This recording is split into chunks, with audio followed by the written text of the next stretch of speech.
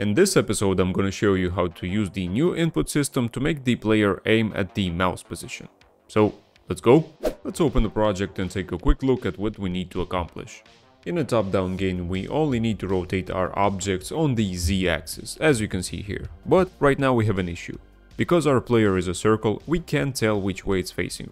To solve this, let's create a square sprite as a child object, drag it slightly to the left and resize it so it looks like it's a gun. Don't spend too much time on it because we're gonna change it in the next episode anyway.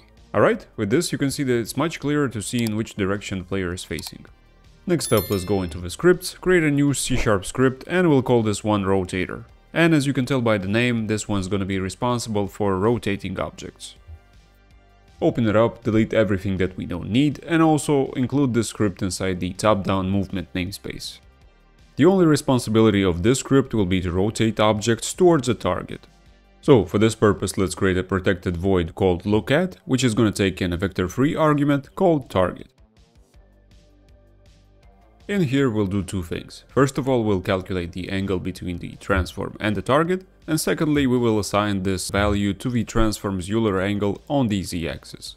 For calculating the angle we're gonna need a local float variable called lookAngle, which is gonna be 0 for now. And once you have it, let's just take it and assign it to the transform z Euler angle.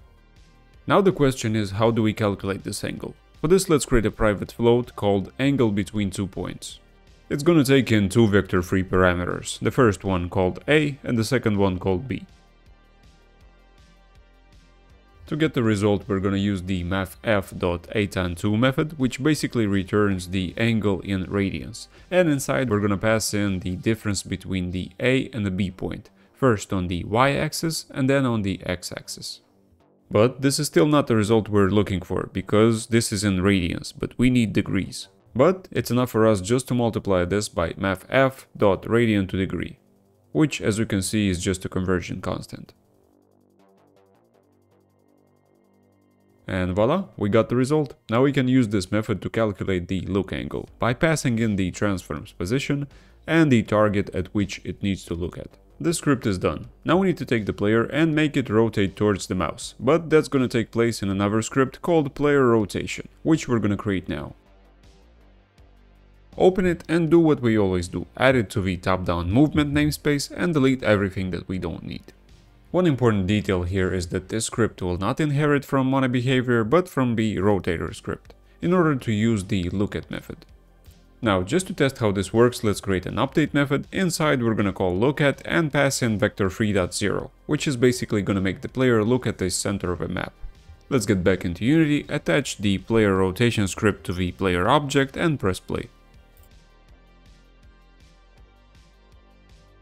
As you can see the player is looking somewhere and it's looking there consistently, which is good, but it's not looking in the right spot, so let's check why. After a bit of digging I have found that the solution to the problem is to add 90 degrees to our look angle, because by default in Unity objects tend to look to the right, not towards their target. I can't exactly explain why this is the way it is, but as you can see it works correctly now. Now we can open the player rotation script and move on to the last task, which will be to determine the mouse position and make the player look that way.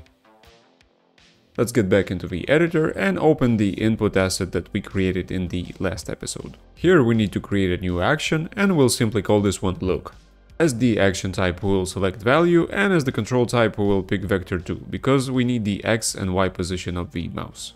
Now for the binding, open the path, select mouse and then choose the position. And just to make sure that we do everything correctly, let's check the keyboard and mouse checkbox underneath the control scheme. Once you've done that, you can just close this window and press save. Now we can go back to the player rotation script, and instead of the update method, we'll create a new private void called onLook.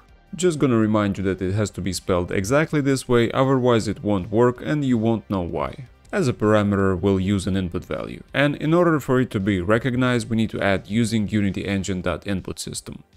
The parameter will simply be called value. Now, open the curly brackets, create a new vector2 called mouse position, and to get the position of the mouse, we can simply type value.getVector2. Alright, this is good, but this is the screen position of a mouse. We actually need the world position, and to get it we first need to make a conversion. To do that, let's type in camera.main.screen to world point. Now that we have the exact position, we can simply call the lookat method and pass in the mouse position variable. Now let's get back into Unity and see how everything works. As you can see for yourself, everything is working perfectly, so good job. Thanks for watching this episode and stay tuned for the next one. Huge thanks goes to all the supporters, George Mulcahy and the first YouTube member PD100 Academy of Art.